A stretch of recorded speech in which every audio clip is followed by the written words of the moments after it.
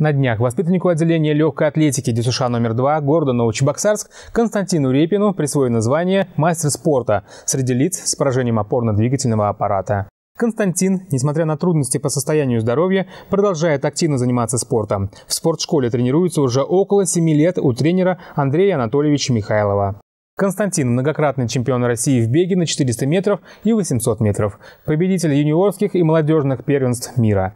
В 2016 году Константин стал бронзовым призером Кубка мира, является рекордсменом мира в беге среди юношей на 200 метров.